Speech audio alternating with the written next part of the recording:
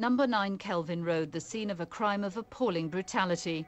It was here that 34-year-old Mandy Power, her young daughters Katie and Emily, and elderly mother Doris Dawson were beaten to death. I'm Professor Mike Berry. I'm a consultant clinical forensic psychologist and I'm based at Birmingham City University.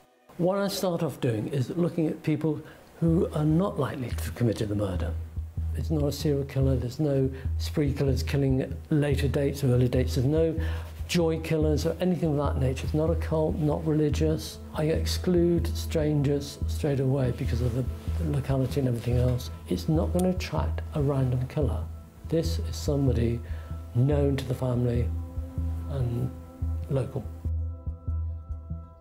I think it's somebody in their 30s, maybe slightly older. It's somebody who knows the house, is known to Mandy and probably Doris and the children as well. They feel comfortable in the house, they've been there before, they're comfortable.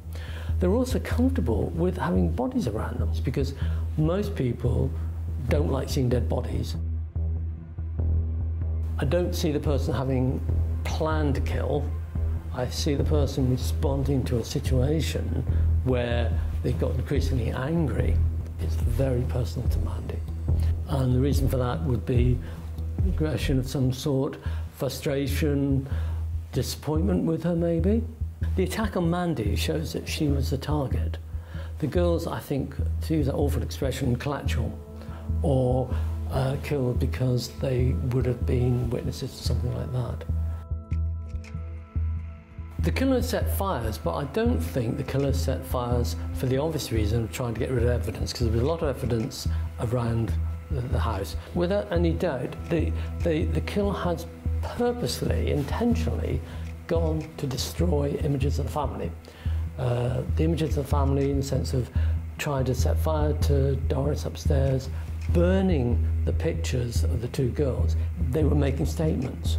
The killer made a statement about Doris made a statement about burning the, the, the two pictures. And it's to kind of wipe out the whole family. So we've wiped them out, we've burnt the house down, everything else. Kind of wipe this person off the face of the earth almost.